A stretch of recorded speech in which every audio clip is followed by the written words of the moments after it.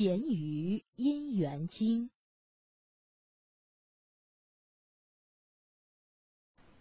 波斯匿王女金刚原品第八。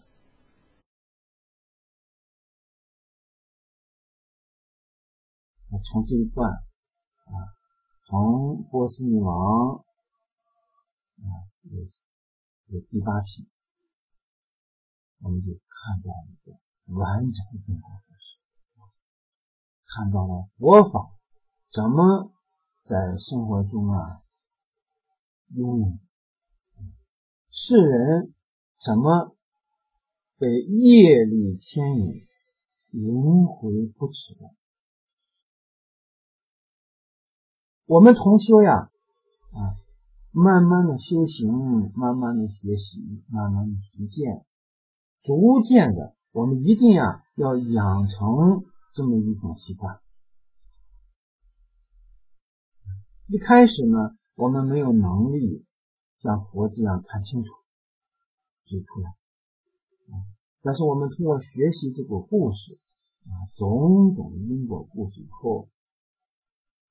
我们懂得一些道理了，我们就学会啊，用因果的原理啊，用三法印的原理啊，用一心三观的原理啊等等，慢慢的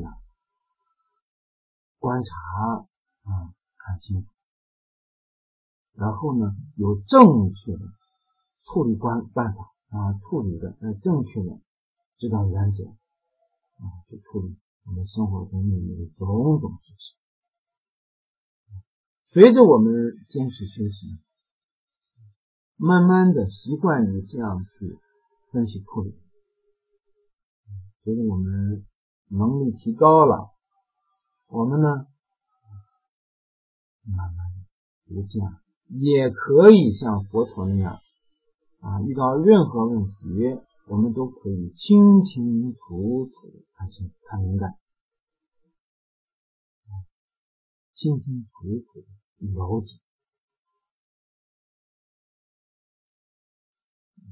逐渐的把我们这个世界的种种现象搞懂，慢慢摆脱种种束缚，使自己的身心呢。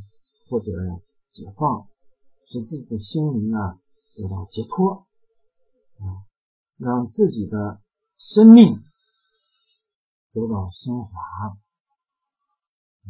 最终啊，让我们自由自在。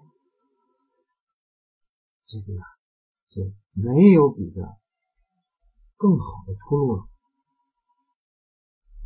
所以我们学习啊，佛祖。啊，这些因果故事不要白学，不要看个热闹，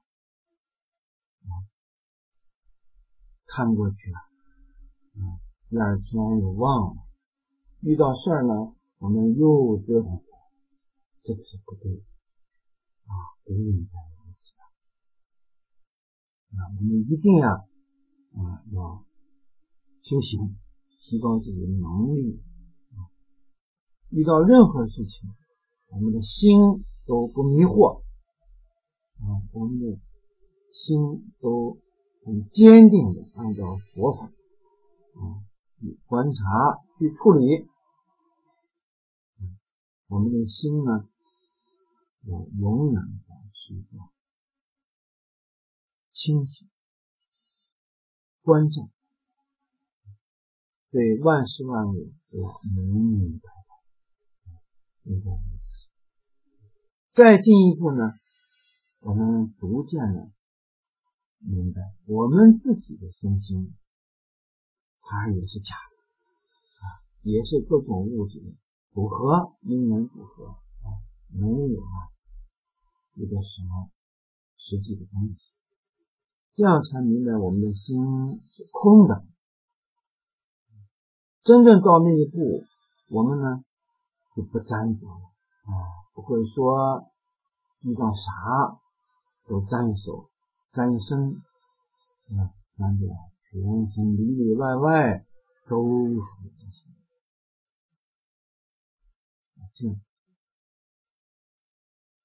这，慢慢的，对外我们看假，看看破；对内我们看空啊。明白了这个道理啊，达到这个阶段，我们呢，保持中道啊，保持中观，我们就得到一种啊安定啊身心的安定。外在一切在我们这里，就像镜中反映出的影像一样，清清楚楚、明白的。但是呢，一旦外缘走了，啊，个体离开了，我们的心又是光明的，我们的心又是空寂的，不被啊我们眼耳鼻舌身意所感知的色身香味触法污染了，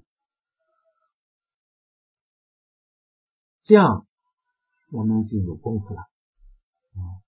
长期这样保持下去，我们就不断啊，不断啊，长养盛开，经常常保持我们的功夫，慢慢慢慢，我们就解脱了。啊，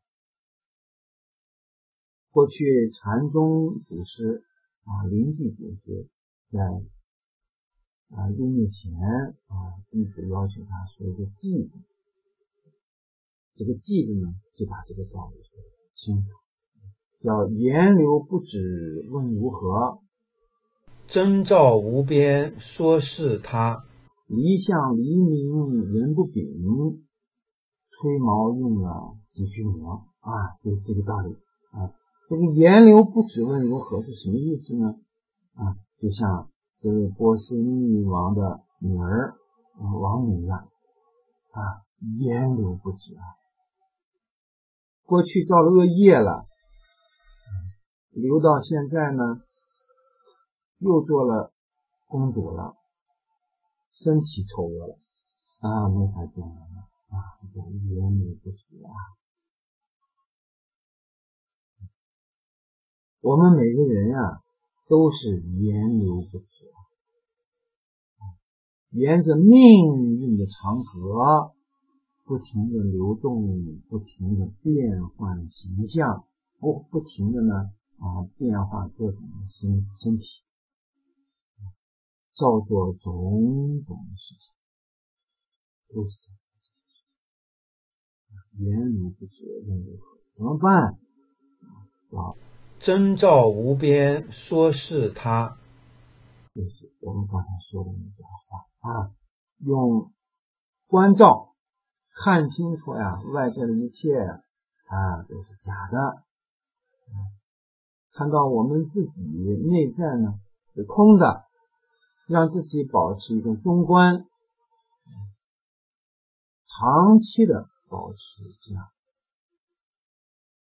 外在不假，内在为空，长期的保持状态。征兆无边，说是他。因为这个时候呢，为为什么说叫说是他呢？因为我们还没有彻底的断除无明，断除呀身体的根本，所以呢，我们还不是本源，所以我们这个时候呢是相似的啊，似他啊，像你的本性，还不到你的本性。这个是长期修行的办法啊！离相离明人不秉啊！我们呀，既然看到外在都是假的，内在空的，所以我们呢，慢慢啊啊，就要离相离明啊！我们不要再像波斯女王王明一样，看见这个相。我们就不停的变动，啊，看见丑陋的，我们心生厌恶；看见欢喜的，我们呢，啊，就心花怒放，不能这样，啊，啊，要只是一项一名啊，这个名名称的名，名字的名啊。那么我们人往往也是这样啊，看见某个名字了啊，某个形象了等等啊，有为的东西了，我们也是不停的产生对应啊，因为诸行无常，诸法无我呀，我们怎么能够在啊凝聚在某个名上呢？啊？这个名如果说物质体，我们也知道这个物质体啊，它迟早会变灭。我们在这个被变灭的物质体上下功夫呢，那都是错的，因为它不长久啊，不能作为我们的依靠啊，我们何必发掘它啊，发掘这些不实的东西，折腾啊，就像。吹泡泡一样，我们天天在这个泡泡上下功夫，那有啥意思啊？无非把这个泡泡表面化为美丽极了，但是有一天呀，这个泡泡一旦破穿了、破灭了，那你在泡泡上建立的这些美好的东西全没了啊，有啥意义？意义啊？所以呢，啊，离相离名，人不比啊，这个再也没有人知道我们干嘛了，再也没有人知道能找着我们了啊，这才行。啊，过去也有一位祖师，他到一个地方，那么这个当地人就欢迎他，他问为什么呀？他说呀，啊。这个土地托梦了啊，说某某某祖师要来啊，所以呢啊，当地人要接待。这位祖师说：“哎呀，露了馅了啊，露了馅了啊，被土地看着了，说明什么呢？说明啊，这功夫不到啊。”啊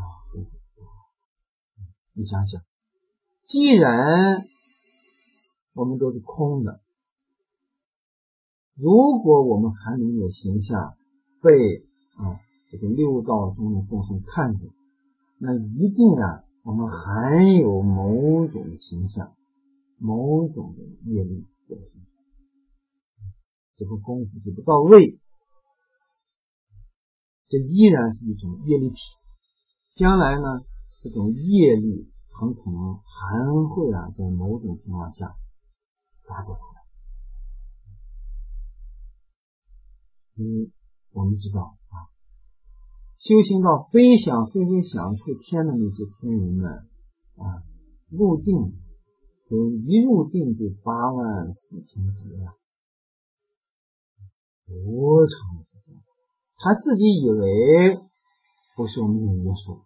其实呢，他内在的核心依然还有一点点无名在那里没有断除啊！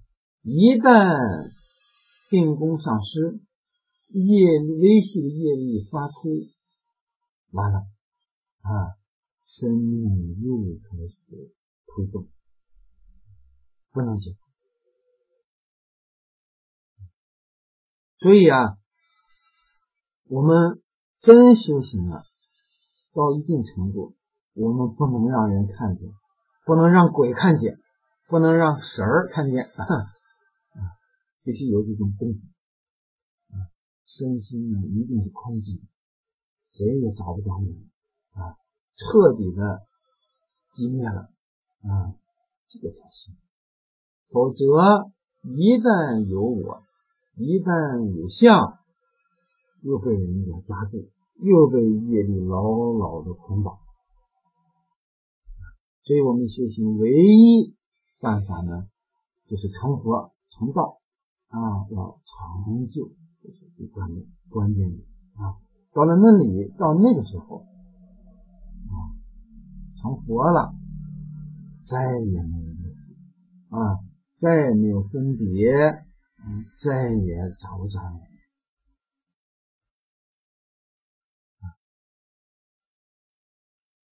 啊，第四句呢叫啊，吹毛用了去驱魔啊。这个吹毛呢，就是比喻古刀、宝刀啊，古代的宝刀啊，拿一根头发轻轻的放在啊这个宝刀的刃上，不需要用力，这个头发就断了。那么意思是什么呢？意思啊，就是我们这个思想。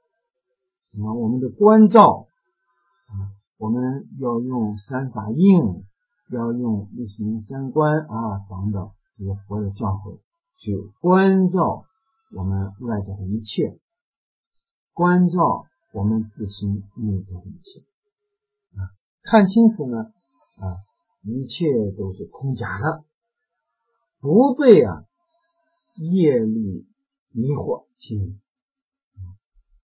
所有的东西放在我们这个佛法的观照面前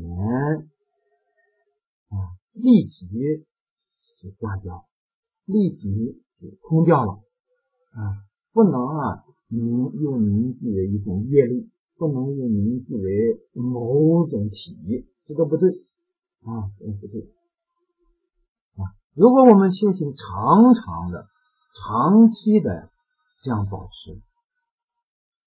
那好了啊，我们的思想，我们的关照，那就像宝剑了，锋利极了啊！任何东西都立不起来的啊！随时啊，事情来了，名相来了，我们立即就破掉，立即把它挥散于空中啊！这个呀，就是修行的功夫。